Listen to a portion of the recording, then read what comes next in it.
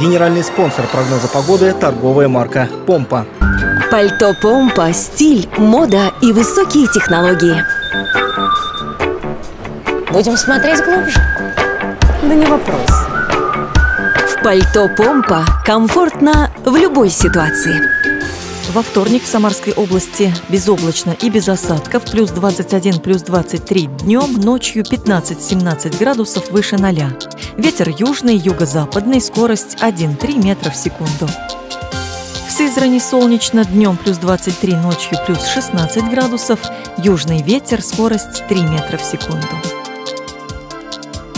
Тольятти безоблачно, днем плюс 21, ночью плюс 17 градусов, юго-западный ветер 3 метра в секунду. В Самаре ясное небо, плюс 21 градус в дневное время, ночью плюс 15. Ветер юго-западный 2 метра в секунду, атмосферное давление 755 миллиметров ртутного столба.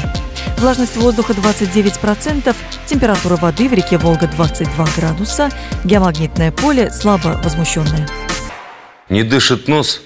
Ответ один. Иди в амбулаторный центр номер один.